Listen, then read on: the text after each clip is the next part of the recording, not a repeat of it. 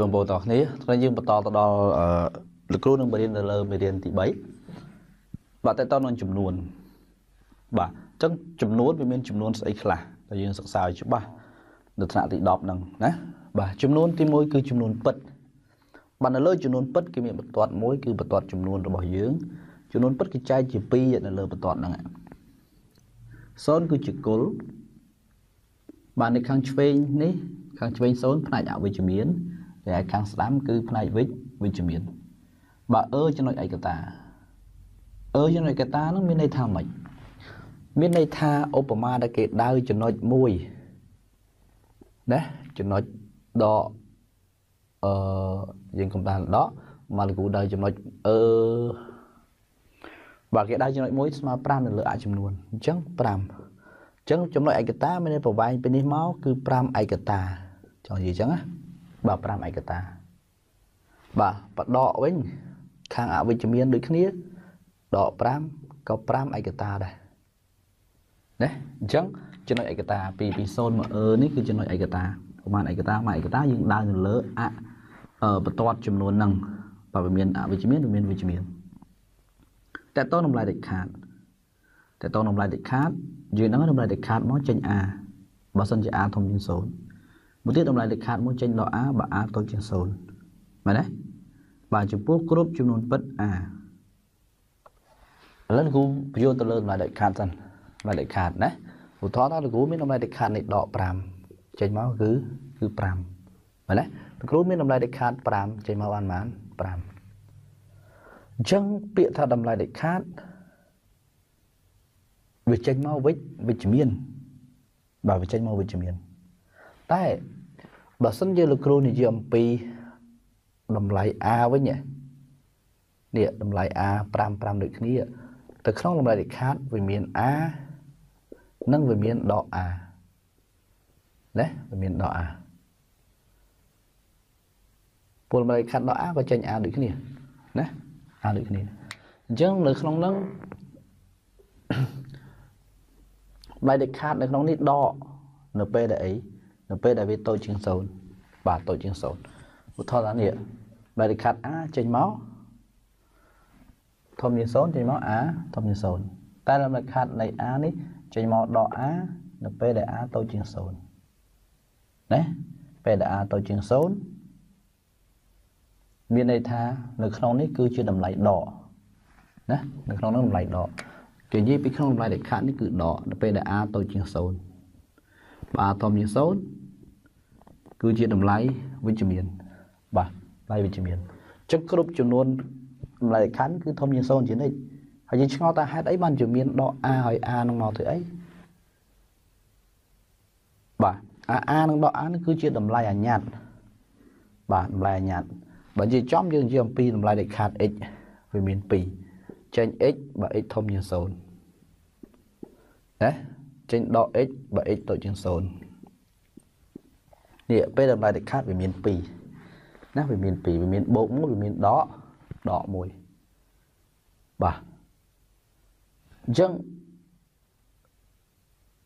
នៅទីនេះយើងនឹងមើលទៅលើប្រតិបត្តិដើម្បីយើងនិយាយទៅលើតម្លៃដែលគ្រូនិយាយបាទដែលគ្រូនិយាយប្រតិបត្តិរបស់យើងនេះគឺថាកំណត់ចំនួនពិត x ដែលផ្ទៀងផ្ទាត់នេះបាទលេខខាត x ស្មើ7មែនទេ អញ្ចឹងមានន័យថាគេរក x នេះនៅក្នុងតម្លៃលេខខាតអញ្ចឹងទី1បើសិនជា x តូចជាង0ឥឡូវយើងថាធំមុនចុះ x ធំជាង0នេះ x របស់យើងនេះគឺស្មើប៉ុន្មានស្មើ7អូខេតែបើសិនជា x តូចជាង0នោះ x របស់យើងស្មើប៉ុន្មានដក7ហេហេតុអីបានវាមានដក ដោយសារតែ x តូចជាង0បានវាចេញមកគឺដក7ហើយចម្លើយវាមាន2បូក1ដក1ណាបូក1ដក1ហើយនៅពេលដែលយកនោះទៅផ្ទៀងផ្ទាត់សមីការ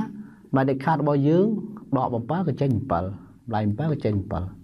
ប៉ុន្តែគេសួរតម្លៃនៅក្នុងបែរដេខាតមាននេះខ្លះដក7ហើយនឹង7គេអត់ចង់សួរអាចេញមកទេគេសួរអាក្នុងហ្នឹងអាក្នុងបែរដេខាតហ្នឹងវាមានអីគេដក7ហើយនឹង7 តែបើចម្លើយចេញពីបរិខាតគឺវាជាមានយនិចវាអត់អាចមានដកទេអញ្ចឹងនៅទីនេះយើងញែកឲ្យច្បាស់កុំឲ្យច្រឡំថា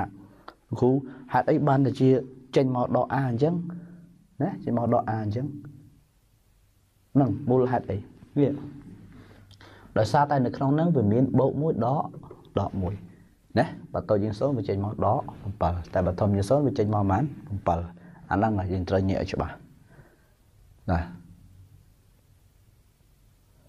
យាមពីតម្លៃនៅក្នុងតម្លៃលិខិតហ្នឹងវាមានបូក1ដក1តែពេលបញ្ចេញពីតម្លៃលិខិតគឺវិជ្ជមានជានិច្ចណាវិជ្ជមានជានិច្ចអត់ដែរអត់ដែរអវិជ្ជមានទេតម្លៃលិខិតអីក៏ដោយវិជ្ជមានជានិច្ចណាប៉ុន្តែគេឲ្យរនៅក្នុងនេះរនៅក្នុងតម្លៃលិខិតវាមានបូក1ដកដក1បាទយល់ឲ្យច្បាស់ទៅលើហ្នឹងបាទជួយអរគុណច្រើនស្រីបងប្អូនទាំងគ្នាថ្ងៃយើងបន្តទៅដល់អឺលោកគ្រូនឹងបរៀននៅលើមេរៀនទី3បាទតើតើនឹងចំនួន បាទអញ្ចឹងចំនួនវាមានចំនួនស្អីខ្លះដែលយើងសិក្សាឲ្យច្បាស់នៅថ្នាក់ទី10ហ្នឹងណាបាទចំនួនទី1គឺចំនួនពិតបាទនៅលើចំនួនពិតគេមានបន្ទាត់មួយគឺបន្ទាត់ចំនួនរបស់យើងចំនួនពិតគេចែកជា2នៅលើបន្ទាត់ហ្នឹង0គឺជាគុលបាទនៅខាងឆ្វេងនេះខាងឆ្វេង0ផ្នែកអវិជ្ជមានហើយខាងស្ដាំគឺផ្នែកវិជ្ជវិជ្ជមានបាទអឺចំណុចឯកតាអឺចំណុចឯកតានោះមានន័យថាម៉េច មានន័យថាឧបមាដែលគេដៅចំណុចមួយណាចំណុចដកអឺយើងកំដានដកមកលោកគ្រូដៅចំណុចអឺបើគេដៅចំណុចមួយស្មើ5នៅលើអចំនួនអញ្ចឹង5អញ្ចឹងចំណុចឯកតាមានន័យប្រវែងពីនេះមកគឺ5ឯកតាចង់និយាយអញ្ចឹងណាបាទ5ឯកតាបាទបដកវិញខាងអវិជ្ជមានដូចគ្នាដក5ក៏5ឯកតាដែរ ណាអញ្ចឹងចំណុចឯកតាពីពី0មកអឺនេះគឺចំណុចឯកតាប្រមាណឯកតាមួយឯកតាយើងដើរនៅលើអបន្ទាត់ចំនួនហ្នឹងបើវាមានអវិជ្ជមានវាមានវិជ្ជមានតើតើតម្លៃដាច់ខាតតើតើតម្លៃដាច់ខាតយើងដឹងតម្លៃដាច់ខាតមកចេញ a បើសិនជា a ធំជាង0មួយទៀតតម្លៃដាច់ខាតមកចេញដល់ a បើ a តូចជាង0មែនទេបាទចំពោះគ្រប់ចំនួនពិត a ឥឡូវគូបញ្យល់ទៅលើតម្លៃដាច់ខាតសិនត ម្លៃដាច់ខាតណាឧទាហរណ៍ថាលោកគ្រូមានតម្លៃដាច់ខាតនេះដក5ចេញមកគឺគឺ5មែនទេលោកគ្រូមានតម្លៃដាច់ខាត5ចេញមកបានប៉ុន្មាន5អញ្ចឹងពាក្យថាតម្លៃដាច់ខាតវាចេញមកវិជ្ជវិជ្ជមានបាទវាចេញមកវិជ្ជមានតែបើសិនជាលោកគ្រូនិយាយអំពីតម្លៃ A វិញនេះតម្លៃ A 5 5ដូចគ្នាទៅក្នុងតម្លៃដាច់ខាតវាមាន A និងវាមានដក A ណាវាមានដក A ពលតម្លៃខាត់ដក A ក៏ចេញ A ដូចគ្នាណាអាដូចគ្នាអញ្ចឹងនៅក្នុងហ្នឹងបាយដេខាតនៅក្នុងនេះដកនៅពេលដែលអីនៅពេលដែលវាតូចជាង0បាទតូចជាង0ឧទាហរណ៍ថានេះបាយដេខាត a ចេញមកធំជាង0ចេញមក a ធំជាង0តែលំដាប់ខាតនៃ a នេះ ចេញមកដក a នៅពេលដែល a តូចជាង0ណាពេលដែល a តូចជាង0មានន័យថានៅក្នុងនេះគឺជាតម្លៃដកណានៅក្នុងនោះតម្លៃដកគេនិយាយពីក្នុងតម្លៃដែលខាត់នេះគឺដកដល់ពេលដែល a តូចជាង0បើ a ធំជាង0គឺជាតម្លៃវិជ្ជមានបាទតម្លៃវិជ្ជមានអញ្ចឹងគ្រប់ចំនួនតម្លៃខណ្ឌគឺធំជាង0ជានិច្ច ហើយយើងឆ្ងល់ថាហេតុអីបានជាមានដក a ហើយ a នឹងមកធ្វើអីបាទ a a នឹងដក a នឹងគឺជាតម្លៃអញ្ញត្តិបាទតម្លៃអញ្ញត្តិបើនិយាយចំយើងនិយាយអំពីតម្លៃលេខខាត x វាមាន2ចេញ x បើ x ធំជាង0ណាចេញដក x បើ x តូចជាង0នេះពេលតម្លៃលេខខាតវាមាន2ណាវាមាន2វាមានបូក1វាមានដកដក1បាទ អញ្ចឹងនៅទីនេះយើងនឹងមើលទៅលើប្រតិបត្តិដើម្បីយើងនិយាយទៅលើតម្លៃដែលគ្រូនិយាយបាទដែលគ្រូនិយាយប្រតិបត្តិរបស់យើងនេះគឺថាកំណត់ចំនួនពិត x ដែលផ្ទៀងផ្ទាត់នេះបាទលិខិត x ស្មើ7មែនទេអញ្ចឹងមានន័យថាគេរក x នេះនៅក្នុងតម្លៃលិខិតអញ្ចឹងទី1បើសិនជា x តូចជាង0ឥឡូវយើងថាធំមុនចុះ x ធំជាង0នេះ x របស់យើងនេះ គឺស្មើប៉ុន្មានស្មើ7អូខេតែបើសិនជា x តូចជាង0នោះ x របស់យើងស្មើប៉ុន្មានដក7ហេហេតុអីបានវាមានដកដោយសារតែ x តូចជាង0បានវាចេញមកគឺដក7ហើយចម្លើយវាមាន2បូក1ដក1ណាបូក1ដក1ហើយនៅពេលដែលយកនឹងទៅផ្ទៀងផ្ទាត់សមីការបានដេខាតរបស់យើងដក7ក៏ចេញ7 ម្លាយ7ក៏ចេញ7ប៉ុន្តែគេសួរតម្លៃនៅក្នុងបានដេខាតមាននេះខ្លះដក7ហើយនឹង7គេអត់ចង់សួរអាចេញមកទេគេសួរអាក្នុងហ្នឹងអាក្នុងបានដេខាតហ្នឹងវាមានអីគេដក7ហើយនឹង7តែបើចម្លើយចេញពីបរិខាតគឺវិជ្ជមានយនិចវាអត់អាចមានដកទេអញ្ចឹងនៅទីនេះយើងញែកឲ្យច្បាស់កុំឲ្យច្រឡំថាគ្រូហេតុអីបានតែជាចេញមកដក A អញ្ចឹងណាចេញមកដក A អញ្ចឹងហ្នឹងមូលហេតុអីវាដោយសារតែនៅក្នុងហ្នឹងវាមានបូក1ដក